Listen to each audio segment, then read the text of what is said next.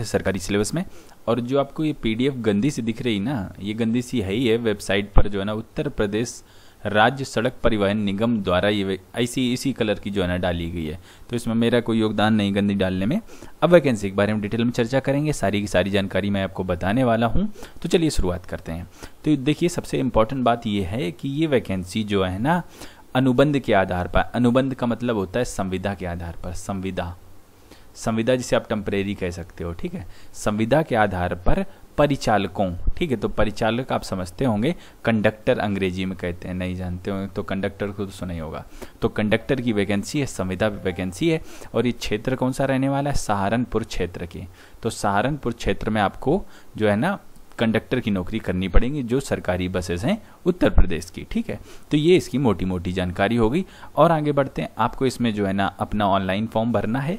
और इसका कोई अन्य दूसरा जो है ना, जुगाड़ नहीं है। आपको ऑनलाइन फॉर्म ही इसमें भरना है। आपकी वेबसाइट रहेगी www.upsrtc.com पर जाकर आप अपने फॉर्म भर सकेंगे। आपके फॉर्म जो है ना, तेईस सितंबर से चालू हो चुके हैं और उनतीस सितंबर तक चलेंगे। तो ध्यान रखिएगा, समय काफ़ी कम है। तेईस से उनतीस सितंबर, आज चौबीस सितंबर हो गई तो आपके हाथ में करीब करीब पाँच दिन है। तो लेट मत कीजिएगा और इस वीडियो को आप देख रहे हैं तो अपने व्हाट्सअप या फेसबुक या इंस्टा हैंडल या जो भी आपके पास हैंडल है, या आप मुख से भी बता सकते हैं कि भाई उसमें वैकेंसी आई है, ठीक है? तो जो है ना, इस तरह आप इस वैकेंसी का प्रचार भी कर सकते हैं, जिन लोगों को ज़रूरत है, जो लोग चाहते हैं, उन तक वीडियो पहुँच सके और वो लोग इसका फ़ायदा उठा सकें, ठीक है? तो ये आपकी जो है ना, सहारनपुर क्षेत्र की है डिपोज में, जो सहारनपुर, ये देखिए सहारनपुर क्षेत्र के जो क्षेत्रीय कार्यालय में सभी डिपोज मतलब कि सहारनपुर में, मुजफ्फरनगर में, छुटमुलपुर में, खतौली में, शामली में, तथा गंगोह में। यहाँ के नोटिस बोर्ड पर ही और ये जो है ना, ये सारा एरिया आता है सहारनपुर के अंडर में। तो आपको इन इन इलाकों में बसेस में कंडक्टर की नौकरी करनी होगी, ये लोकेशन की बात हो गई। और थोड़ा टोटल आपकी है 111 वैकेंसी ठीक है? और इसमें जो है, अनुसूचित जाति के लिए तेईस है, अनुसूचित एसटी के लिए चौदह है, ओबीसी के लिए तीस और चवालीस जनरल वाले बच्चों के लिए चवालीस रिक्तियाँ यहाँ पर जो है ना E W C economy weaker section के लिए कोई सीटों का प्रावधान नहीं किया गया। आपके फॉर्म उनतीस तारीख तक चलेंगे, रात के, शाम के पाँच बजे तक। ध्यान रहे तो जितनी जल्दी हो सके अपना फॉर्म इस वेबसाइट पर भर देना। और आगे देखते हैं। अब देखिए, आपकी जो उम्र सीमा है, आपकी उम्र सीमा की गणना एक सितंबर 2019 से की जाएगी। आपकी उम्र सीमा 18 से 40 साल के बीच में होनी चाहिए। बट अगर आप रिज़र्व कैंडिडेट हो तो आपको छूट मिलने वाली है, ठीक है? जैसे कि एस सी और ओ बी सी वालों को पाँच साल की छूट दी जाएगी, ठीक है? ये इंपॉर्टेंट चीज़ थी। अब देखिए, जब आप चयनित हो जाएँगे तो आपको दो सप्ताह का प्रशिक्षण कार्यक्रम ये लोग जो है ना आवंटित करेंगे तो आपको प्रशिक्षण भी लेना पड़ेगा। प्रशिक्षण जब आपका दो हफ़्ते का पूरा हो जाएगा, फिर आपकी नौकरी बता दी जाएगी कि यहाँ पर नौकरी करनी है। और देखिए, इन्होंने अभी तक ये बात नहीं बताएगी कि आपकी ये संविदा जो नौकरी है, कितने साल तक है? एक साल, दो साल, तीन साल, कितने साल तक? इस चीज़ के बारे में कहीं कोई जानकारी नहीं दी गई है। इसके संबंध में आप ये नोटिफिकेशन दोबारा से भी पढ़ सकते हैं। मैं इसका लिंक नीचे कमेंट बॉक्स में दे दूँगा, ठीक है? अब देखो, ये बात हो गई। अब इसकी एजुकेशन क्वालिफिकेशन देख लेते हैं। तो आपकी जो एजुकेशन क्वालिफिकेशन है, ये देखिए। एक तो कक्षा बारह पास तो मिनिमम आपको होने ही चाहिए, ठीक है? अगर आप कक्षा बारह पास हैं, तभी आप इसमें फॉर्म भर सकते हैं, ठीक है? और इसके अलावा आप यहाँ से देख सकते हैं कक्षा बारह पास के बाद जो मैं चीज़ें आपको बताने जा रहा हूँ, इनमें से कोई एक चीज़ आपके पास होनी चाहिए, तभी आप इसके लिए योग्य माने जाएँगे। तो देखिए, नंबर एक पर आपको क्या होना चाहिए? निगम सेवा के दौरान मृतक नियमित या संविदा कर्मचारियों के अगर आप आश्रित हैं तो आपको जो है ना, इसमें फॉर्म भर सकते हो। दूसरा बात, उत्तर प्रदेश परिवहन निगम में सेवानिवृत्त कर्मचारी हैं तो भी इसके लिए फॉर्म भर सकते हो। भूतपूर्व सैनिक हैं तो भी फॉर्म भर सकते हो।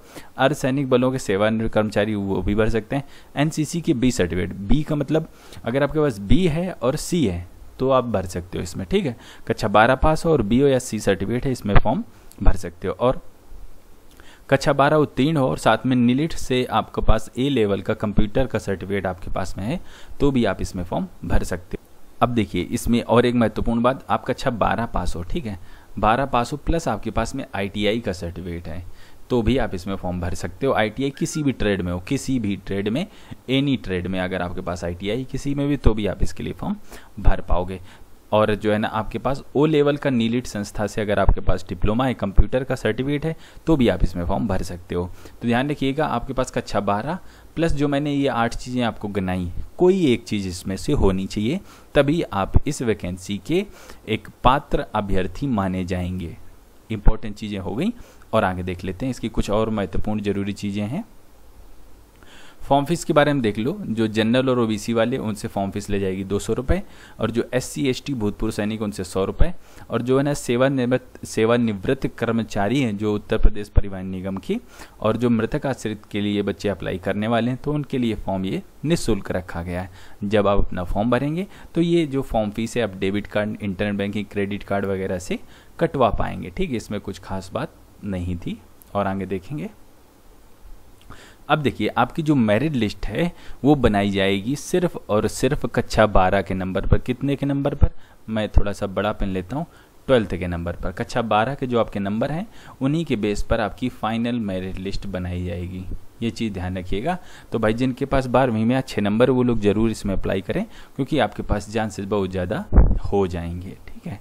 तो ये चीज़ आपको देख सकते हैं और जो बच्चे चयनित हो जाएँगे तो ये आप को डिपो में, किसी भी डिपो में आपको तैनात किया जा सकता है। अब देखिए, ये वैकेंसी जो है ना, उत्तर प्रदेश वालों के लिए, यूपी वालों के लिए।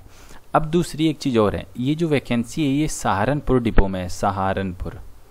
सहारनपुर डिपो में। तो उत्तर प्रदेश में आता है। अब उत्तर प्रदेश में कई और डिपो हैं, कई अलग अलग जो आपके डिस्ट्रिक्ट्स हैं, ज़िले हैं। तो जो सहारनपुर के बच्चे नहीं हैं, इसके अलावा के जो भी बच्चे हैं, वो सारे बच्चे as a general candidate treat किए जाएँगे, भले ही आप उत्तर प्रदेश के रहने वाले हो। तो अगर आप सहारनपुर रीजन के रहने वाले हो तब आपको आरक्षण का लाभ मिलेगा मतलब S C S T O B C का लाभ मिलेगा। अगर आप किसी अन्य जो है ना, ज़िले के रहने वाले हो, किसी अन्य क्षेत्र से बिलोंग करते हो, भले ही आप उत्तर प्रदेश के हो, तब आपको as a general candidate treat किया जाएगा। ये नवा नंबर लिख रखा है। आप जो है ना, जब मैं आपका लिंक दे दूँगा, इसका लिंक दे दूँगा, तब आप अच्छे से उसे और देख पाएँगे। तो ये चीज़ काफ़ी इंपॉर्टेंट थी, आप इसे ध्यान रखिएगा। एक और ज़रूरी बात कि जब आपकी दो हफ़्ते की ट्रेनिंग हो जाएगी और आपको जो है ना, जब आवंटित हो जाएगा, तब आपको दस हज़ार रुपये प्रतिभूति के तौर पर निगम कोष में जमा कराने पड़ेंगे। ये इसलिए जमा कराए जा रहे हैं कि अगर आप नौकरी छोड़ देते हैं बीच में तो आपके दस हज़ार रुपये जब्त कर लिए जाएँगे। ग्यारह महीने से पहले अगर आप काम छोड़ कर जाते हैं, कंडक्टर की नौकरी छोड़ते हैं तो आपको दस हज़ार रुपये आपके चले जाएँगे। इसलिए जमा कराए जाते हैं। कहीं ऐसा ना हो, आपने दो दो महीने, दो हफ़्ते की इनकी ट्रेनिंग होती है। ट्रेनिंग ले लिया आपने, फिर आप इसे छोड़ दें। तो आपकी फालतू की वैकेंसी भी एक खाली हो जाएगी तो इसलिए ये चीज़ आपसे जमा कराई जाएगी।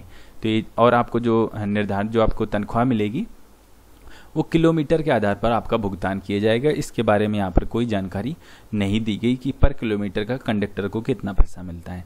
तो लेकिन जो भी वैकेंसी के बारे में मुख्य जानकारियाँ थी, वो मैंने आपको एकदम अच्छे से बता दी हैं।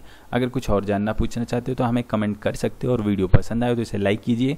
लेकिन लाइक से ज़्यादा ज़रूरी से शेयर कीजिए, अपने व्हाट्सएप इंस्टाग्राम जो भी आपके पास में है, ताकि क्योंकि इसमें फॉर्म भरने की जो है ना तारीखें हैं, वो काफ़ी कम हैं, पाँच दिन शेष हैं तो जल्दी से जल्दी, ज़्यादा से ज़्यादा लोगों के पास पहुँच सके। इस वीडियो में इतना ही, हम आपसे मिलते हैं अगले वीडियो में, तब तक के लिए वंदे मातरम।